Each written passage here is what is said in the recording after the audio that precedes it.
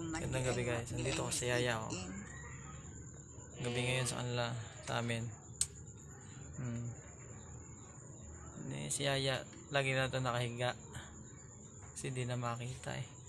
Hirap na rin ito maglakad. Hmm. Pero love na love ko to. Hmm. Love na love ko yung yaya ko. God bless. Ma tagaan pa siya dakong inabuhi sa Diyos dahil at least nandito pa siya sa mundong to paramdam natin na mahal natin ang ating mga relatives yaya ko yan eh hmm. dati ito nag-aalaga rin sa amin ng baby pa ako eh ano kinain mo kanina ya? Ha? ano kinain mo kanina? Ako? Na- oh, nagapunan ka. Oh, Man ni siguro. Halos sa... Kanang hapon ba? O karang hapon? Oo. Kuan bra. ka- Kanang kanon. Kanon? Mm. Wa man may.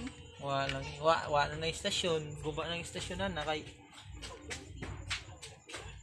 Dugay na gyud na iya. Ni- ah, ah, Agrosaryo man. Kaya magrosaryo Lagi, man ko.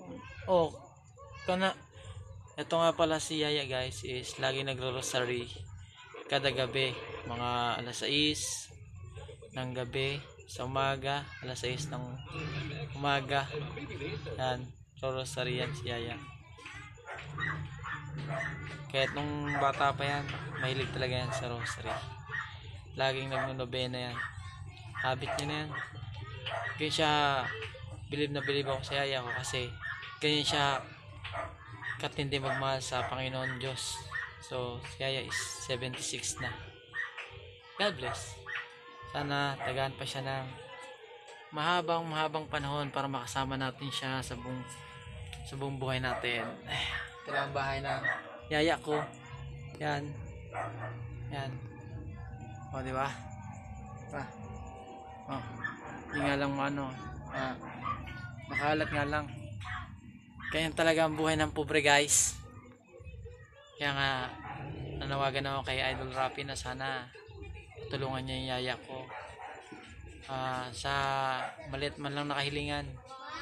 Eh mabigyan niya ng ah, maayos na mapaya, mapaayos ni Idol Rapi itong bahay ng yaya ko at ano ah, maregaluhan siya ng radyo. Radyo lang yung makakalikot niya. Yung mapaminawan niya ba mapakinggan kasi itong yaya ko is hindi na makita. Gusto nga rin ito makita kaya lang wala kaming pera guys. Pobre kami. So hope nagustuhan yung aking video. Kung magustuhan yung mga ganito kong video sana i-like nyo lang at mag subscribe kayo. Thank you. Bye bye